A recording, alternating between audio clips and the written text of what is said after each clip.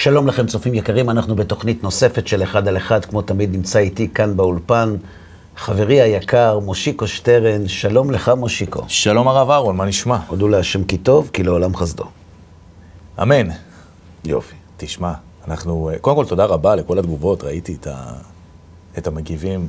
איחלו לך מזל טוב. איחלו מזל טוב, תודה רבה לכולם, מרגש מאוד, שמחנו מאוד, ברוך השם. זהו, עכשיו הגיע הזמן לעבוד.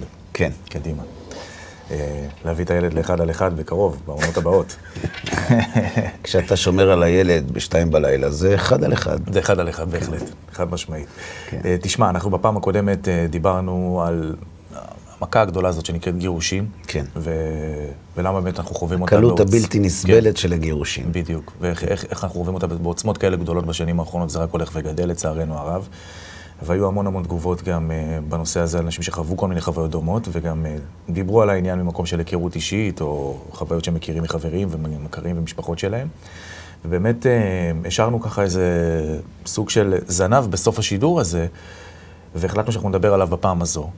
ואני זוכר שאמרת שם, הרב, שיש ש... איזה שורש לכל הדבר הזה, והשורש הוא ההבדל בין החוויה לבין האמת, או מה בקודם.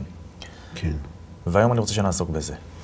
אוקיי. על איזו חוויה דיברת? אוקיי. מהי האמת שאנחנו מדברים עליה? אז בוא, בוא, בוא נרענן את זיכרוננו. אה, בפרק הקודם שעסקנו בסוגיה של הזוגיות, ניסינו להבין מה גרם לשינוי בתפיסה ביחס לזוגיות. Mm-hmm. זאת אומרת, אם בעבר, אם לא היו מסתדרים, היו כל כך מנסים, היום היד קלה מאוד על ההדק. לא מסתדרים, תחתוך. נכון. מיצינו, קראנו לזה. והסברנו בפרק הקודם שהסיבה לכך היא נפלאות השפע. השפע הופך את האדם לצרכן של חוויות, וככזה הוא מציב את עצמו במרכז החיים של עצמו, ככה הוא יתרגל. השפע גם הופך אותנו למפונקים, כאלה שלא רוצים להתאמץ, לא מכירים את המושג להתאמץ, ולכן כשדברים לא מסתדרים, זורקים וקונים חדש. Mm-hmm. זו תרבות הצריכה של חברת השפע. נכון. ולכן לא ייפקד מקומה של הזוגיות בתהליך הזה. אתה יודע, זה מזכיר לי שהשבוע בדיוק חזרנו מה...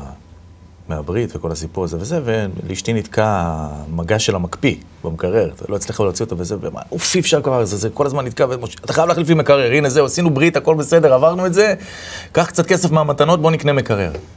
ואז אמרתי, רגע, צריכה לראות את הפרק החדש, דיברנו שם בדיוק על הדברים האלה, על להחליף מהר. למה להחליף? בוא נקרא רגע לטכנאי, נבדוק רגע מה קורה פה, זה מקרר יחסית חדש. זה דווקא הייתי הולך הפוך. זאת אומרת, קודם כל, אה, במקרה כזה, למשל, אה, אני צריך לומר, בוא נקנה חדש. כן? בטח. למה? כי זה מה שאשתי רוצה. אה, אוקיי. הברכה מצויה בביתו של אדם בשביל אשתו. אה, כל הרווחה הכלכלית של האדם היא בגלל אשתו, ואת הצרכים שלה צריך למלא בלי לשאול שאלות. אני לא אקנה חדש לעצמי. אבל אם לה זה עושה טוב, נקנה לה חדש. קיבלתי, בסדר, אוקיי. אז תעדכן אותה בסוף התוכנית שיכולה ללכת לקנות, ולגבי... אבל אתה צודק שבאמת, ככה אנחנו חיים. זורקים, קונים חדש. ובסוף התוכנית הקודמת, ואתה שאלת אותי בצדק, טוב, אז מה עושים? איך עושים? אז אמרתי... דבר על זה. דבר על זה, כן. כן. אמרנו בסוף הפרק הקודם שצריכים להחליף את המקומות. כלומר, כשהחיים מבוססים על חוויה, זו התוצאה. כשהחיים מבוססים על אמת, תקבל תוצאה שונה. עכשיו אנחנו צריכים לעסוק בשאלה, למה זה באמת? מה, מהי אמת? מהי חוויה? למה, איך מחליפים? מה, מה, מה עושים? כן. אז, אז כאן אני, אני רוצה לפרק איתך את שני החלקים האלה. מה זה נקרא לפי דעתך לחיות על בסיס של אמת? סתם, אתה בדף חלק עכשיו. אני בא עם מלא מחשבות, וזה, אתה בא, מה זה לחיות על בסיס של אמת? קודם כל צריך להכיר באמת? כמובן, לה? כמובן. צריכה להיות לך אמת, נכון. כן. ואז מה? וברגע שאני יודע שאלו הקווי מתווה שלי לחיים עצמם, יש לי איזה סוג של מפת דרכים, מה מותר, מה אסור, מה כדאי, מה לא כדאי, אה, מה משפיע עליי לטוב, מה משפיע עליי לרע, אז אני הולך לפי המתווה הזה. זה קשה ללכת לפי המתווה הזה? בטח. למה? כי הוא דורש מאיתנו. כי הוא מתנגש עם מה? עם חופש? זאת אומרת, אתה אומר לי ככה, אני מפרש את המושג לחיות על בסיס של אמת, וכרגע אני, אני לא, אני לא אומר אמת, כן אמת, אמת אחת, אלף אמיתות, זה לא הנושא עכשיו. כן. יש לי מערכת ערכית, שאני חושב שלחיות על פיה זה הנכון. בסדר? בדרך כלל, האמת הערכית מתנגשת עם הרצון. נכון. כי אם היא לא הייתה מתנגשת, לא היינו בונים אותה. כי הכל בסדר. כשהאמת הערכית מתנגשת עם הרצון, זה מייצר ניצוצות. זה מייצר מאבק. מייצר קושי, אתגר. כן. מה קורה כשמתוך עשר החלטות, שבהן נאלצת להכריע בין האמת לחוויה, עוד מעט נעסוק בשאלה מהי חוויה, כן? מתוך עשר החלטות, שמונה החלטות קיבלת על בסיס חווייתי, ושתיים על בסיס של אמת. מה יקרה, אתה שואל? מה קורה לנו במקרה כזה? מתרגלים לאיזה סוג של אה, התמכרות לחוויות. שזה אומר שאני הוכחתי בעצם קבלת ההחלטות שלי, שהרצון שלי, החוויה שלי, הריגוש שלי, יותר חשוב מן הערכים שלי. זה מה שזה אומר. שההשלכות של זה, שברגע שהתפרצו אצלי רגשות, מי יגן על העולם מפניי חוץ מהחוק? אף אחד. נכון. כלומר, ברגע שאני מציב את עצמי במרכז, על בסיס חווייתי, אין משהו יותר חזק מזה. בדיוק. הכל מותר. הכל מותר, עד שמשהו... הכל, הכ- בוא נגיד ככה, הכל שפיט. לא יודע אם הכל מותר, הכל שפיט. מלוא כל הארץ משפט.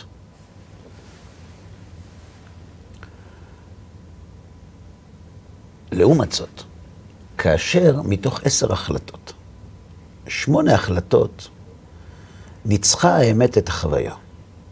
במקרה של התנגשות כמובן, אנחנו לא פקירים, זאת אומרת, אין עניין לסבול. אבל זה, זה לא, לא מסתדר. מה האדם מגלה על עצמו בקבלת ההחלטות הזו? שיש לו say, יש לו מילה, יש לו יכולת לעמוד בזה. שהאמת בחיים שלו חשובה יותר מהחוויה. ולכן במקרה של התנגשות בין החוויה לבין האמת, הולכים עם האמת למרות הקושי. כן. האדם הזה מתרגל שהחיים שלו לא מבוססים על בלי, על אימפולסיביות. כל קבלת החלטה נבחנת. נכון. ולכן, לאט לאט הוא מגלה שהאמת הופכת להיות מרכז החיים, והחוויה עוטפת אותה. אבל יש פה איזה סוג של עבודה עצמית שהיא גם תרגול בדברים שהם לאו דווקא התנגשויות. כלומר, לצורך העניין, אה, על מנת שבסופו של דבר אני אגיע להכרעות כאלה חשובות כמו אמת מול אה, חוויה, אז גם בחוויות מותרות, נגיד לאכול, בסדר? אני גם צריך ללמד את עצמי לעצור, אתה מבין? נכון. זאת אומרת, גם דברים שהם בעצם מותרים, אני צריך לדעת מתי זה מיותר, מתי די. כדי לאמן את היכולת שלי נכון. להגיד לא. נכון, אתה צודק בהחלט. על הנקודה הזאת עומדים הרמב"ם והרמב"ן. רבנו משה בן מימון ורבי משה בן נחמן. הרמב"ם כותב בספר המוסר שלו, בשמונה פרקים, בהקדמה למסכת אבות, שהאדם צריך להנהיג את מידותיו בשביל הזהב. דהיינו, לא קיצוני לצד הזה ולא קיצוני לצד הזה. השלמות נמצאת במרכז. כן. למה? אני נדיב, אני רוצה ללכת עד הקצה. אומר הרמב"ם, לא, הקצה של הנדיבות זה פזרנות. והקצה ההפוך זה קמצנות. הנדיבות היא באמצע. כלומר, אתה צריך להיות נדיב, מפוכח. אל תתמכר לחוויה. כשאתה מתמכר לחוויה, אתה איש מסוכן, בדיוק כמו הקמצן. קח דוגמה את הרחמנות והאכזריות. מה האמצע בין רחמנות לבין אכזריות? מה? רחמים. רחמים. מה ההבדל בין רחמים לרחמנות? דיברנו על זה פעם, אני זוכר. אתה זוכר? רחמנות זה אני מכור לרחמים. רחמים זה רחמנות מפוקחת. הרמב"ם מלמד אותנו שהשביל שביל הזהב הוא נכון בגלל שהוא מלמד שהאמת מחייבת את החוויה, ולא הפוך. כן. הרמב"ן לעומת זאת, על הפסוק קדושים תהיו בחומש ויקרא, אומר, אומר הרמב"ן שבתורה יש אסור ויש מצווה. מה עם כל השאר? מה? מותר. בין האסור לבין המצווה. יפה. עכשיו, למותר אפשר להתייחס משני כיוונים. כל מה שלא אסור, מותר. מותר. אל תחמיר. אפשר להסתכל על זה מכיוון אחר. לא כל מה שמותר נכון. למה? חז"ל אומרים, קדש עצמך במותר לך. שים גבול גם למותר. יש לזה הרבה סיבות. אחת הסיבות קשורה לנושא שלנו. כשאתה מתמכר למותר, לאט לאט אתה מגלה שגבולות המותר פולשות לגבולות האסור. כן. כשאתה מגביל את המותר, אתה מחנך את עצמך שהחוויה היא לא מרכז החיים. כן. ולכן אתה צודק בהחלט שזה לא מתחיל בזוגיות. זה מתחיל בעבודה עצמית שלנו כבני אדם, שלי, שלך, של לא כל מה שמותר צריך לעשות. נכון. עכשיו נחזור לזוגיות. למה זוגיות לא מצליחה? כי יש במרכז שני רצונות, שהחוויה היא המרכז של שניהם, ואין משהו יותר חזק מהחוויה. מהחוויה.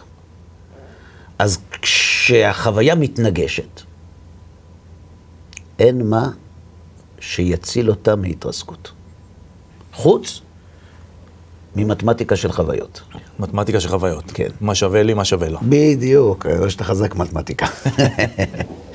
זאת אומרת, לפעמים אני סותם. כן. אני אשתוק. למה? תשמע, מי צריך כאב ראש עכשיו? תוריד את הראש, יעבור, כן. יהיה בסדר. זה לא זוגיות, זה שותפות. זה מתמטיקה של חוויות. שווה לי קצת, ארוויח אחר כך יותר. כשהאמת נמצאת במרכז זה מקום אחר לגמרי. כשהאמת נמצאת במרכז, עולמה הרגשי של אשתך הוא הערכים שלך. אתה צריך לעבוד את השם, לאהוב אותו, לירא אותו, לקיים את מצוותיו, ולהפוך את אשתך למאושרת. אתה לא הופך אותה למאושרת כי זה משתלם, כי היא תהיה חוויה, כי זאת האמת. כי. חז"ל אומרים, הוקירו לנשייכו לכי תתעטרו. כבד את אשתך, תהיה עשיר. למה? אז בזוהר כתוב שהאישה זה כנגד השכינה, ויש הרבה דברים עמוקים שאני לא מבין. אבל יש בזה צד מאוד אנושי. אומרים לך, אתה רוצה לחוות? תציב את אשתך כערך, כבוד. כשאשתך תהיה אחד מן הערכים שמ- שהאמת שלך מכילה, ש- שמהם בנויה, עשויה האמת שלך, אתה קודם כל התרגלת שיש מרכז בחיים שלך וזה לא החוויה, כן. ובמרכז הזה נמצאת אשתך. עכשיו שתבין, אני מדבר כאדם דתי. לא ניכנס כרגע לסוגיה, כל אחד והאמת שלו כבר. תדע לך, שלא כל אדם דתי, האמת נמצאת במרכז החיים שלו. בוודאי. אני לא, אני לא מדבר על מספרים, כי, כי זה גם לא נכון וזה גם לא משנה. אפשר שהאדם יהיה דתי, ממש דתי, שומר חוקי התורה, ומה שבמרכז החיים שלו זה החוויה. אדם כזה נמצא בקבוצת סיכון בדיוק כמו אדם לא דתי, שהחוויה נמצאת במרכז שלו. עוד יותר מסוכן. איפה, נכון. זאת אומרת, בוא נגיד ככה, אדם דתי שהחוויה היא מרכז החיים שלו, סובל יותר מאדם לא דתי שהחוויה מרכז החיים שלו. או סובל או גורם כי לסביבה כשהחוויה לסבול. היא מרכז החיים, היא גורמת לפעמים, בזמן של התנגשות והכרעה כנגד הערכים, לנקיפות מצפון. נכון. נקיפות המצפון של אדם דתי הן הרבה יותר מורכבות, כי זה לא רק חוטא לחוק, זה גם חוטא לאלוהים. אבל מה שאני מבקש להגיד זה גם את ההפך. וזה אני גם רוצה להגיד בשם היושר. אמרתי שהאדם הדתי, כשהחוויה נמצאת במרכז החיים שלו, נמצא באותה קבוצת סיכון, אבל אני רוצה להגיד גם הפוך. אדם שאין לו אלוהים, והוא כפוף לערכים שלו, הסיכוי שלו לא ליפול בהם הוא הרבה יותר גדול. הוא הרבה יותר, הסיכוי ליפול הוא הרבה יותר גדול. למה? למה? כי כשהאמת היהודית נמצאת במרכז החיים, לכאורה היא דומה לחלוטין לאמת האנושית. אני מאמין בערכים א' ואני עובד לפיהם, אתה לפי הערכים האלה, אתה עובד לפיהם. נכון. כן, נכון. עכשיו, מה קורה במקרה של התנגשות בין החוויה לערכים? אי אפשר להימלט מזה. אנחנו יושבים ושוקלים. שוקלים. מה קורה לאדם שרעב,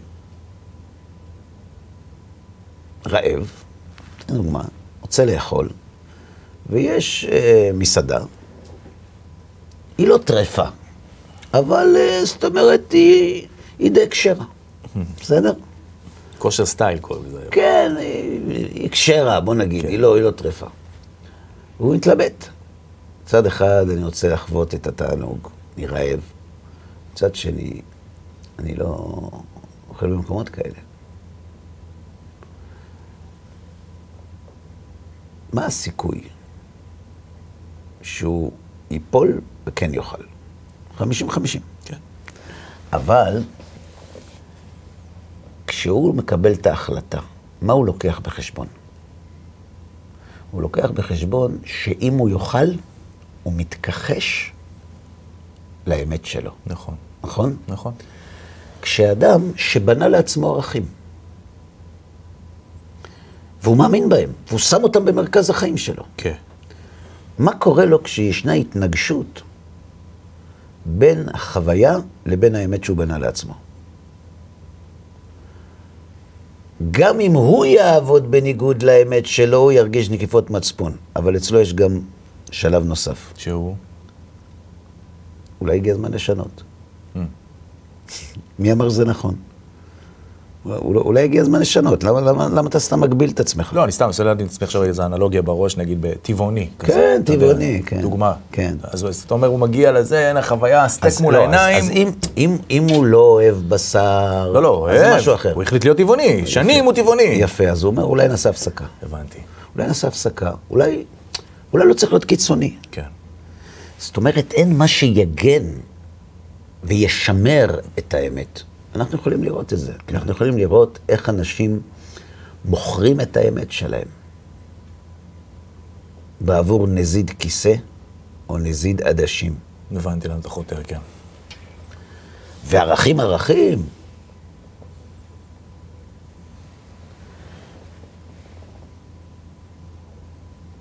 כדי להצליח בזוגיות, הזוגיות צריכה להיות חלק מהאמת, ולא רק חלק מהחוויה. וזה מה שאמרת בתחילה, ובזה אני מסכים. אנחנו לא פריקים של אמת. אנחנו אנשים, יש לנו רגשות, אנחנו רוצים לחוות. אבל השאלה מה קודם למה. מה מחייב את מה? מה מוליד את מה? בתורה כתוב, תחווה. התורה מצווה לחוות. אבל קודם אמת. וידעת היום. והשבותה אל לבביך. אתה צריך לדעת שזו האמת, ועכשיו אתה גם צריך למצוא דרכים להפוך את האמת הזאת לחווייתית, כי היא צריכה לפרנס את שני חלקי האישיות שלך. הרמב"ם כותב שכשהשפע האלוהי מפרנס רק את השכל, האדם נהיה פילוסוף. וכשהיא מפרנסת רק את הרגשות, אז האדם נהיה, רחפן. כן, אמן. או פוליטיקאי, שזה סוג של אמנות. אבל כשהיא מחברת את שניהם, ומפרנסת את שניהם, האדם זוכה לנבואה. כי נבואה הרי צריכה דמיון. כן. בלי דמיון אין נבואה. והיא צריכה גם שכל. כלומר, כשאנחנו רוצים לקבל שלמות, אנחנו צריכים שהאמת תפרנס את החוויה שלנו. ולאורך כל החיים, וכאן זה מתחיל, אנחנו עמוסים בהתנגשויות יומיומיות, לפעמים דרמטיות יותר, כמו עכשיו, מה שיש לנו במדינת ישראל, ולפעמים ברמה האישית, הקטנה, הסוכריה, הדברים הקטנים, אבל אנחנו כל החיים אה, נמצאים בצומת שבה אנחנו צריכים להכריע חוויה או אמת. יש אבל הרבה מאוד מצבים שבהם אנחנו הופכים את התחושה הפנימית שלנו, נקרא לזה כך, ושמים עליה סטמפה של אמת. כאילו הפכנו אותה לאמת, ובשמה אנחנו חיים, כי זאת האמת, איך אמרת קודם, האמת שלנו. כמו אדם שיש לו נטייה למשהו מסוים, והוא מחליט שהוא ככה רוצה לחיות, ולא מעניין אותו כל החוקיות האחרת, זה אני, נולדתי כך. אתה כן. מבין? ואז בעצם הוא הופך את זה למעין סוג של תנ"ך של עצמו. אתה יודע מה? לצורך הדיון, לא אכפת לי. לא אכפת לי, אתה יודע. אתה רואה, לא- רגע, רגע. לקח את האמת הזו, הוא לא- לא. התכופף ממנה. בסדר. לא אכפת לי, ובתנאי אחד. ש... אתה יודע ש... שאנחנו אומרים שהקדוש ברוך הוא דיין אמת, נכון? ככל דרכיו משפט, אל אמונה ואין עוול, צדיק וישר הוא. למה אנחנו קוראים דיין אמת? יש דיין שהוא לא אמת? היום אתה לא יכול לדעת, אבל יש דיין שהוא לא, הוא לא רוצה את האמת? אין. כן, של בא, כן. כן, הוא רוצה את האמת. זה התפקיד שלו, למצוא את האמת. הוא לא עורך דין, הוא שופט. מסבירים חכמינו שכשאנשים יוצאים מבית משפט לאחר פסיקת הדין, אחד לא מרוצה. ואיך שלא תשחק עם זה, אם הוא טען להגנתו ויצא חייב, זה אומר שהוא חושב שהשופט טועה. נכון, רק זה החוק. נכון. אין ברירה. אם יש לו אפשרות לערער, הוא יערער, כן. ואם לא, זה החוק. אצל הקדוש ברוך הוא, כולם יוצאים מרוצים? לא מרוצים, אלא? מתוך ידיעה ברורה שהיה משפט אמת. איך? פשוט מאוד. אתה יודע, יש, אה, אני לא מרבה להתעסק בזה, אבל, אבל זה קיים. יש מה שנקרא חוויית כמעט מוות, שקוראים מוות קליני. כן. זה סיפור שלם, אבל בגדול, אנשים מתארים, חווים איזו מצוקה גופנית חמורה, והם מתארים מצב שבו הם כביכול מתנתקים מהגוף, רואים את עצמם, ו... יש איזה מין, איזה מין רשימה של תיאורים מאוד חופפים בין מיליוני נכון. בני אדם מדתות שונות, נכון. מאמונות שונות, מארצות שונות. אז הם פוגשים קרובי משפחה שמתו, והם רואים את כל החיים שלהם עוברים מול העיניים, והם עוברים במנהרה ארוכה, והם מרגישים רוגע עצום, הם לא רוצים לחזור. ו... אבל הם מתארים שם משהו מרתק שהם לא אמורים לדעת אותו. הם מתארים שהם מרגישים ישות כלשהי, לא משנה כרגע מה זה ומי זה, מלאה באהבה, שגורמת להם להעריך את החיים שלהם. כביכול, באופן לא מילולי, היא מביאה אותם לתת חוות דעת על חייהם, על הסרט שהם ראו. סוג של דין לעצמם. מה זה דין לעצמם? כאילו, הם עוברים סוג של איזה... של מה? של משפט. אבל מי השופט? אה, חלקם מתארים כזה, לא? כן, אבל מי השופט? הם. הם.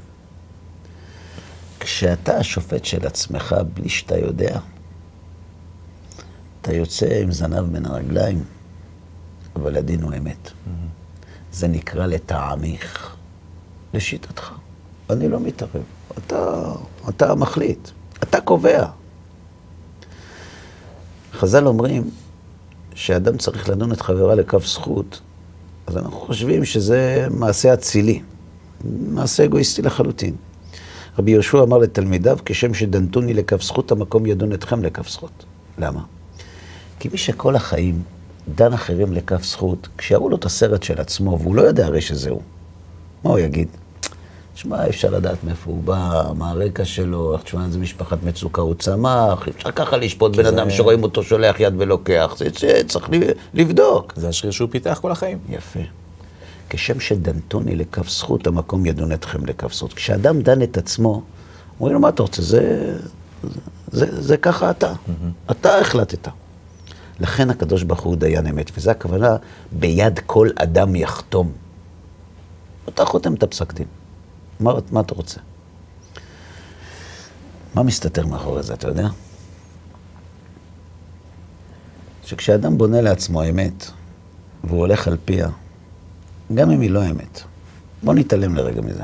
יש אמת אחת מוחלטת, אלוהית, אבל בוא, בוא נתעלם, אם אפשר, נתעלם לזה. ברגע שאתה לעתים תופס באמת שלך ובשמה עושה דברים, ובו זמנית, או לפני או אחרי, מבצע פעולות הפוכות לגמרי מן האמת שאתה מאמין בה, אתה לא דיין אמת, אתה דיין של שקר. אתה לא איש של אמת, אתה איש של חוויה. אתה מלהטט עם אמת. אתה מעצב את האמת לפי החוויה שלך. אתה מחליף אותה, פושט לצורה ומלביש לצורה לפי הצרכים שלך. זו לא אמת. לשיטתך זו לא אמת. כי הרי מה זו אמת? דבר מחייב. אז איך יום אחד אתה אומר ככה ויום אחד אתה אומר ככה? איך יום אחד אתה אומר, הרוב מחליט, הכנסת היא המוסד הדמוקרטי של העם העליון, ויום אחד לא. איך זה עובד? לשיטתך, לטעמיך. ולכן, אם אנחנו חוזרים עכשיו לזוגיות, ברור לגמרי שמי שרוצה להצליח בזוגיות חייב, מוכרח, לשאול את עצמו, מה מרכז החיים שלי? החוויה? בואו נגיד ככה, אצל כולנו החוויה היא בין הבית. Mm-hmm. אנחנו אנשים. כן. אבל במקרה של התנגשות, מי לוקח? בדיוק. עכשיו, יכול להיות נכשלתי, נכשלתי שם, נכשלתי פה, אנחנו בני אדם. אבל מה, מה הכיוון, מה המגמה? Mm-hmm. עכשיו, זה עניין של חינוך. בדיוק כמו שהשף המשחית, כך ההתרגלות לעובדה שהאמת מנווטת את החיים ולא החוויה, זה עניין של התרגלות. ותורת ישראל, אחרי כל מעלותיה שהיא אמת והיא לא תהיה מוחלפת וכל זה, אני מדבר ברמה הרגשית והנפשית, כשאתה מרגיל ילד, זה אסור, זה מותר, ככה השם אמר. לא אני אמרתי, ככה צריך לעשות. אתה מרגיל את הילד שצריך לחיות על פי האמת, שהאמת נמצאת במרכז. זה נקרא גרסא דיאנקותא. האמת במרכז. הוא נשאר בן אדם, הוא נשאר עם יצרים, אבל האמת במרכז. למרות זאת, אנחנו יכולים לגדול בבתים שמחנכים כך, אבל נשארנו עם הגרסא דיאנקותא. זאת אומרת, זה כמו ילד שלמד חשבון בכיתה א', ונשאר עם הידיעות על חשבון בכיתה א'. אז הוא יודע לעשות חשבון, אבל ברמה של כיתה א'. כן. הרבה פעמים אנחנו נשארים מבחינה דתית, מבחינה רוחנית, ילדים. אנחנו עושים, גדלים, עושים, גדלים, הולכים לבית כנסת, חוזרים, עושים קידוש, מתפללים, לומדים תורה, מקיימים מצוות, אבל המרכז זה החוויה. אנחנו פורעים חוב. קצת רובוטים. כן, זה נקרא מצוות אנשים מלומדה. במקרה כזה, הבן אדם מפסיד את הדיבידנד הגדול ביותר של האמת במרכז. הענה. כי, כן, כי, כי, כי הוא, הוא בן כוח הוא חי ככה. כן. למה לא... למה, למה לא להתענג מזה? למה כן. לא עושים את זה במרכז? כן. וזה מה שהתכוונתי כשאמרנו בסוף התוכנית הקודמת,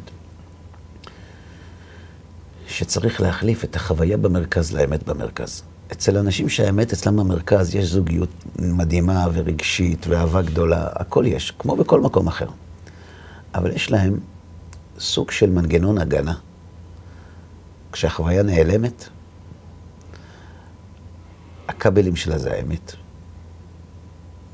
הפסקת החשמל. קורה. מה עושים עכשיו? יש גנרטור. הוא נמצא כל הזמן, אבל מתי רואים אותו? אז הוא רב איתה, אז הם לא הסתדרו. אז היא התנהגה איתו לא יפה, הוא, הוא לא התנהג יפה. מיצינו. מה מיצינו? האישה הזאת היא עבודת השם שלך. היא עבודת השם שלך, הרי זה מה שאתה מחפש בחיים, לעבוד את השם. היא עבודת השם שלך. כי אם איתה אתה לא מסתדר, ועם אחרים כן, זה רק בגלל שהם לא היא. עכשיו, אנחנו יוצאים מנקודת הנחה שמי ששומע אותנו, רואה אותנו, הם אנשים שבאמת מבינים, כשאתה אומר את המושג עבודת השם, למה אנחנו מתכוונים. אבל אני לוקח בחשבון שגם יש כאלו שלא. כן. ואז אני רוצה לומר לאותם האנשים, בעזרתך, או בעזרת מה שאנחנו, הידע שאנחנו מביאים פה, איך בכל זאת אפשר לשים את החוויה במקום השני אחרי האמת, כשהאמת עצמה עוד לא מבוררת? אתה צודק. אז דיברנו קודם כל על כך שגם אם זו אמת שלך, היא עדיין צריכה להיות במרכז, אבל טבעה של אמת שלך, שהיא נדחקת מן המרכז, mm-hmm. כי היא רק שלך, mm-hmm. היא לא אובייקטיבית. בשביל זה צריך לברר. האם יש בורא לעולם? האם הוא רוצה מאיתנו משהו? האם הוא נתן לנו תורה? אני עד היום, חוץ מבן אדם אחד, אחד, זהו, לא נתקלתי בשום תשובה אחרת לשאלה הבאה. אם אתה ואני היינו עומדים למרגלות הר סיני, פנטסטי ככל שיהיה התרחיש. כן. ונראה כיצד הקדוש ברוך הוא נותן לנו את התורה. האם עדיין תהיה לנו בחירה אם לקיים מצוות או לא? התשובה היא, כן. האם תהיה לנו הבחירה לטעון שהתורה הזאת לא אמיתית? כבר לא. לא. משום שהמדען אנוס לקבל את תוצאות מחקרו. Mm-hmm. הנתונים הם נתונים. בורא עולם ברא אותי ואותך, נתן לנו תורה. זאת האמת. אתה יכול לאהוב אותה, אתה יכול לאהוב אותה, זאת האמת. אם אתה תיצמד לה או לא, זו בחירה שלך, חוויה או אמת. כן. זה תמיד יהיה, עם ישראל בחר בחוויה. נכון. הלך לעגל. נכון, זו הייתה חתיכת חוויה. כך שבאמת צריך לבדוק אם התורה מן השמיים. אבל אם היא מן השמיים, ואתה מודע לעובדה שהיא מחייבת, אתה צריך לשאול את עצמך, מה הקדוש ברוך הוא חושב על הקשר שלי עם אשתי? איפה זה נמצא אצלו? Mm-hmm. והקדוש ברוך הוא אומר, יימחה שמו על המים. נכון. סוטה. כדי להטיל שלום בין איש לאשתו. שהקדוש ברוך הוא חותמו אמת, אבל שמו שלום. אתה יכול להיות בשלום עם הרבה אנשים, כי הם לא מתנגשים בחוויה שלך כמו אשתך. הם לא הניסיון. הם לא ההוכחה שהאמת מרכז החיים שלך. נכון. ההוכחה שהאמת מרכז החיים שלך זה כשמישהו מתנגש לך בחוויה. שם רואים מי אתה.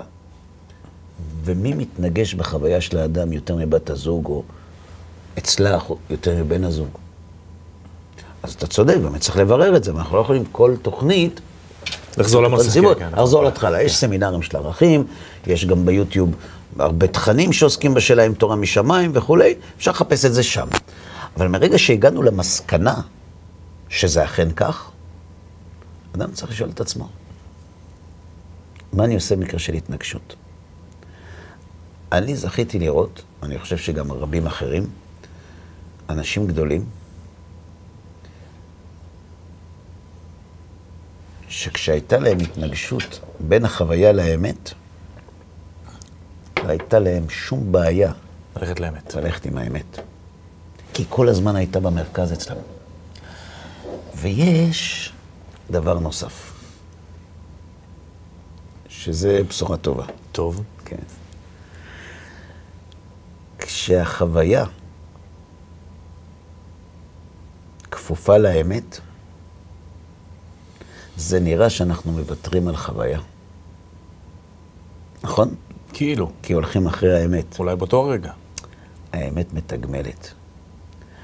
האמת הופכת את ההשתעבדות לאמת לחוויה. ולכן אתה יכול לראות אצל חכמי ישראל, רובם המכריע, אפשר, אני לא יודע, אפשר להגיד, אבל אצל חכמי ישראל, שהם לכאורה אנשים שהאמת הייתה במרכז החיים שלהם, נכון? תראה לי, גדול בתורה אחד, מגדולי ישראל, שלא הייתה בינו ובין אשתו אהבה עזה כמוות. לא הייתי איתם, אבל אני מניח. אתה תניח, זה בסדר. אגב, זה קיים במקומות אחרים, אבל ברמות שונות לגמרי. כן. ב- עומקים אחרים. יחסית, באחוזים שונים לגמרי. לגמרי, לגמרי. זה הכוונה, שהאמת תנצח את הנוחות. תסתכל היום, יש ויכוח גדול בעם, שלכאורה מאיים לקרוע את העם, אבל זה לא באמת יקרה. בעזרת השם. כן. אה, על מה הוויכוח? על אמת? מה פתאום? גם עליך הצליחו לעבוד. מה זאת אומרת? על איזה אמת? האמת, ה- אני חושב שכן, האמת, האמת היהודית, הלאומית. בוא, בוא, בוא נחשוב ככה. יש קבוצה של אנשים, כן. אני אגיד לך למה אני מדבר על זה. כי מערכת היחסים בין שתי הקבוצות ב, במדינת ישראל, זה סוג של יחסים זוגיות? בין בעל ואישה. כן, כן. במצב לא תקין, לגמרי. ברור. באיומים, ב, ב, בסחטנות רגשית. בדיוק עכשיו אצל עורכי הדין. בדיוק, כן, סחטנות רגשית, באיומים. כן. זה ממש אחד לאחד. מצד אחד יש אנשים שאומרים, לא רוצים שבית המשפט יחליט אה, בשבילנו. אנחנו הרוב, אנחנו רוצים שאם להחליט. דמוקרטיה, אז דמוקרטיה. אנחנו רוצים להחליט. כן. מה אומר- מה אומרת הקבוצה השנייה? כן, מסוכן שהרוב יחליט. כי למה? לפעמים הרוב מחליט החלטות מסוכנות, ולראיה? יש לנו את מה שקרה בעבר ההיסטורי. מה, מה, מה מסוכן? כאילו, מה, מה מסוכן? מה. אתה באמת חושב שהולך להיות פה גרמניה, נו ברצינות. מה, מה מסוכן? תסביר לי. אני לא חושב, אתה לא חושב, אבל הם יגידו לך שגם הם שם לא חשבו. כן, כן, בסדר, בסדר. זה, זה, זה סוג של מגלומניה לחשוב שאנחנו אה, בעלי אה, אה, שליטה ויכולת השפעה על האנושות כמו גרמניה. זה קצת יומרני. אני לא חושב שזה שם. תנסה לחשוב עוד, מה, מה, מה מפריע להם? שיהיו החלטות שלא מתאימות להם. כמו מה? כמו מה? כמו איזה החלטות? מה? הרי יש פה, נגיד, למשל... יחל, יחליטו, יכריחו את כולם לשים תפילין? כאילו, מה, מה, מה? אולי במוחם זה... אדם. לא יודע, אני לא... לא, אני- אז בוא תחשוב, אתה פוגש את האנשים האלה. אני פוגש את האנשים שאני מה-. הם אמרו לך? תקשיב, תקשיב. כשאני שואל אותם מה- מה- הסיפור, מה מפריע לך, מה אתה צועק? "אה, דמוקרטיה. מה מה- אתה- מה אתה כן, צועק? דמוקרטיה, כן, מה- מה- מה? אז אני שואל, באמת, מה, מה, אתה יודע מה יקרה פה ברגע שבו הרוב הקואליציוני, שבעצם ב-61 קולות יכול להפוך כל החלטה של בית משפט, זה בעצם אומר שמה שאתם רוצים אתם יכולים לעשות פה, גם אתם. נכון? אמרתי את זה. כשאתם לא רוב. כן. זאת אומרת, אין לכם אמונה שיום אחד תהיו רוב. כי אם היה לכם אמונה שיום אחד תהיו רוב, לא הייתם מתנגדים. אבל יש משהו מעבר לזה. אוקיי. זה רק על הדרך. לא, הם הם טוענים שבזמן שאתם הרוב, אנחנו, אתם, הצד, לא יודע, כן, אין פה כן, אתם ואנחנו, כן, כן, כן, כן. הצד שכרגע הוא כן. בשלטון, אהה. אז הוא כבר יהפוך החלטות שאחר כך זה כבר בלתי הפיך. למה? אחרי זה אתה תבוא, תגיד לא, לא, 61, אתה כבר לא 60. תבוא, כי כבר יורידו לך את הדמוקרטיה, כי כבר לא תוכל לבחור. אה, כבר, לא- אה, לא יהיו בחירות? נגיד. לא, אני לא חושב ככה. אני אגיד לך מה אני חושב. אני יכול להיות שאני טועה. אגב, אבל- זה מה שקרה בגרמניה. יכול להיות שאני טועה, אבל אני גיליתי שלא צריך להבין ביהדות כדי להגן על היהודית של המדינה, ולכן לא צריך להיות משפטן כדי להתבטא בנושא משפט. הרי אבל בסופו של דבר באים אותם האנשים, עכשיו בוא נשאיר רגע את היהודית בצד ונקרא לזה עכשיו אה, איסלאמיסטית כן, בטורקיה כן, לצורך העניין, כן, אתה יודע. אז. לוקחים עכשיו דוגמאות מדברים שקרו בעבר הלא רחוק. טורקיה זו באמת דוגמה טובה, של אדם שלקח את השלטון בצורה דמוקרטית, והפך החלטות דמוקרטיות להחלטות דיקטטוריות. נכון, נכון. מזה הם איס- מפחדים. איסלאמיות. כביכול. כן. כן. אבל הוא גם אמר שהוא רוצה לעשות את זה. הוא גם אמר, הוא רוצה שמדינה כמו טורקיה תהיה מוסלמית. ובחרו בו, ובחרו בו. נכון. עכשיו, אני רוצה להסתכל על זה מזווית קצת שונה. אני לא, לימדו אותי להיות מאוד uh, ספקן. כן.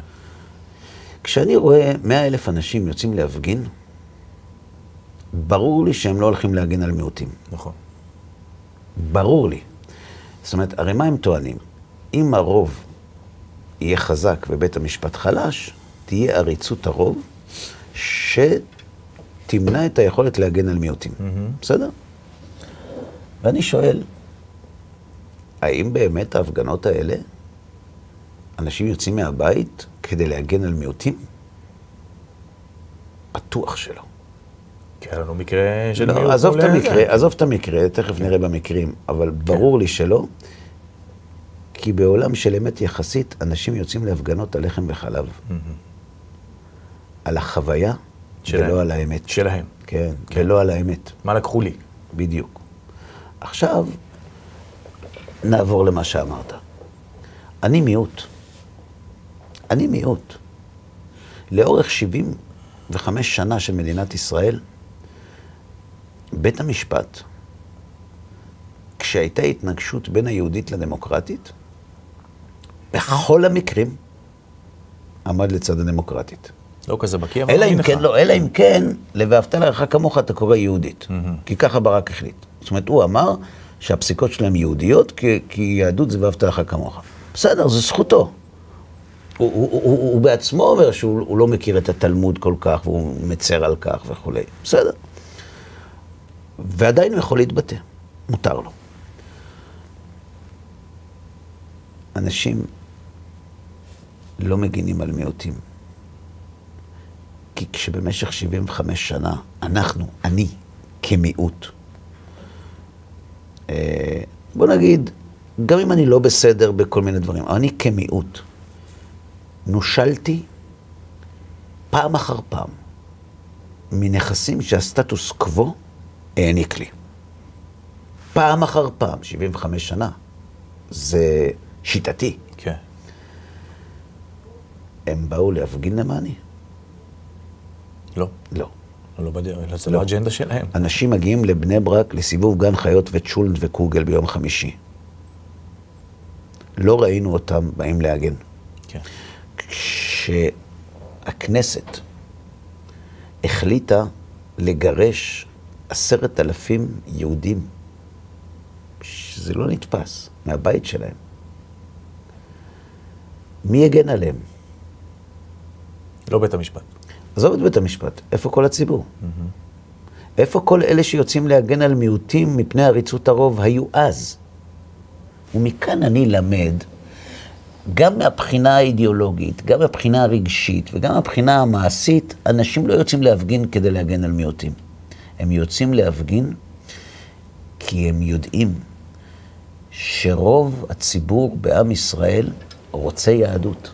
ברמה כזאת או אחרת, לא ברמה שלי, אבל ברמה כזאת או אחרת. הוא רוצה ערכים יהודיים. והדרך היחידה לכפות את הערכים הדמוקרטיים, הפרוגרסיביים, על הרוב המסורתי, זה לא בעזרת הכנסת. כי בכנסת יש שיקוף של רצון הרוב. זה בעזרת מוסד משפטי שהוא. בניסוחים משפטיים משליט את ערכי המיעוט על הרוב. והם יודעים שאם זה יפסיק לקרות, הלכה החוויה, הלכה הנוחות, הלכה איכות החיים. זה בכלל לא ויכוח על ערכים. זה ויכוח על איכות חיים.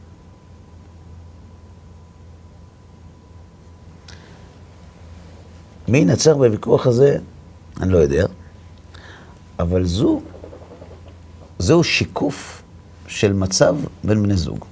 יש שני בני זוג. אתה יודע, יש מריבות, יש ויכוחים, פעם אני, פעם אתה, פעם כן. אני באופוזיציה, פעם אתה באופוזיציה, יש ויכוחים. והשאלה, האם האמת במרכז או החוויה במרכז? האמת זה עם ישראל. האמת זה מדינת ישראל. האמת זה אחדות. האמת זה מה שאמר ברק, ואהבת לרעך כמוך. זה, זה כשהאמת במרכז.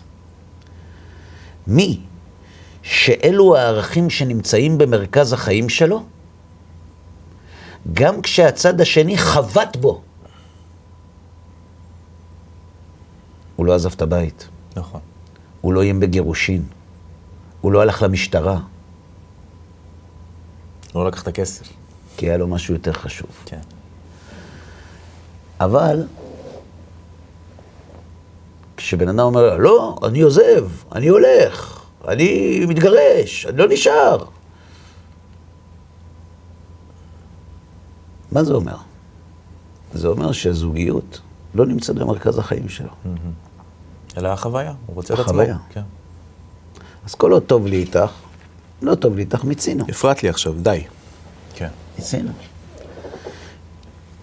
ואפשר לראות את זה בחוש. בחוש. אתה יודע, יש בני זוג... אתה יודע, אמר לי, סליחה, יש בני זוג שהם חלשים. כן, כן. סליחה. יש בני זוג שהם חלשים. אז איך הם משיגים את מה שהם רוצים? חלשים. בעזרת מניפולציות. נכון. אם אתה לא עושה את זה, אז. אז גמרנו. כן. אם זה, אז. אם, אז. אם, אז. נכון. וההוא רוצה לשמר את הזוגיות, כי הוא רואה בזה חשוב. יש ילדים, אז הוא מוריד את הראש. קראו לו בגין. ירו עליו והוא הוריד את הראש. ביזו אותו והוא הוריד את הראש. שנים! בן גוריון לא קרא לו בשם שלו. שנים. והוא הוריד את הראש. אתה יודע למה? כי הייתה לו אמת במרכז. אם אנחנו רוצים זוגיות טובה, אנחנו צריכים לשאול את עצמנו מה נמצא במרכז החיים שלנו. כי אם האמת לא נמצאת שם, אנחנו בקבוצת סיכון. מה רצית להגיד? שכחתי. שכחת. אז זהו, אני מקווה שיהיה שלום בית, וואה. ב- בפרט ובכלל. כן, כן. בעמנו ובכלל. כן, בעזרת השם. זה, כי אני אגיד לך, זה דבר פלא, כי, כי כדי שתהיה אחווה צריך מכנה משותף. נכון. והדבר הכי מעציב במה שאנחנו רואים היום, זה שהמכנה המשותף הולך ונפרם מול העיניים שלנו. נכון. אנחנו בעצם תוך כדי, לא חוויה, אלא התמודדות לא פשוטה בכלל. הנה, טרור יחידים, ילדים בני 13 קמים עלינו ואנחנו לא יכולים, וכל הדבר הזה. ו- ו- ו- וזה, אני יכול, אני כאדם המאמין, אני רואה שזה חד משמעית מלמעלה רמז, בשביל שאנחנו נקבל איזה איתות, תתעוררו, תתאחדו חזרה. על הדבר האמיתי, על זה אתם צריכים להילחם. נכון. אבל מתרחש בירור, והתפקיד שלנו זה לשים את האמת במרכז. ולשים את האמת במרכז זה להגיד, למרות הכל. למרות הכל. כל הביקורת שיש לי, ויש לי הרבה ביקורת, יש לנו מכנה משותף ברזל. גם אם זה רק מצד אחד. אוקיי. גם אם זה רק מצד אחד. יש לנו מכנה משותף ברזל. אני, כדי לא לוותר על הערכים האלה, מוכן לשלם הכל. גם אם תוציא אותי פראייר, קטן, שפן, פיסטוק, או כל דבר אחר. יש דברים שהם יותר חשובים מהכל. האמת. ואם אני שומע, אנשים כותבים תגובות, וזה אומר, מה אלה עמלקים, אלה ערב רב, אלה יצאו מכלל ישראל? אלה אחיך. אלה אחיך. והיו מספיק מקרים לאורך ההיסטוריה שהראו שמי שאלה אחיך נובע אצלו מן האמת, הוא יעזור וימסור את נפשו נכון, כדי להציל את אותם אנשים שמבקשים את נפשו. נכון. כך צריכה להיראות זוגיות. משני הצדדים. אבל גם אם בשלב ראשון זה רק מצד אחד, שמישהו יתחיל להניע את הגלגל שיניים. בסופו של דבר האמת תבוא למרכז. כן. בסדר? חזק וברוך, נלמד מזה הביתה והחוצה. בעזרת השם, תודה רבה לך, מושיקו. תודה רבה. תודה רבה גם לכם, צופים יקרים, שהשתתפתם איתנו בעוד תוכנית של אחד על אחד. אנחנו מאוד מקווים שהדברים יהיו לתועלת, ובעזרת השם נשמח להיפגש כאן בתוכניות הבאות. כל טוב לכם.